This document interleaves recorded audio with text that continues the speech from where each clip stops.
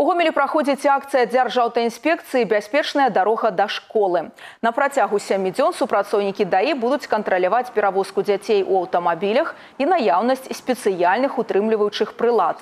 Проводятся проверки ў розны час и на розных улицах. Во время проведения мероприятия особое внимание уделяется водителям, которые перевозят своих деток без нарушений правил дорожного движения, то есть э, пристегивают ремнями безопасности, используют детское удерживающее устройство. Они получают сувенирную продукцию, а уже малыши-карандаши получают канцелярские принадлежности. Нагадаем, зараз у Беларусі праходзіць акцыя увага дзеці. Да 4 верасня ў дзённы час сутак рух павінен ажыццяўляцца з уключаным блізкім святлом фар або дзённымі хадавымі агнямі.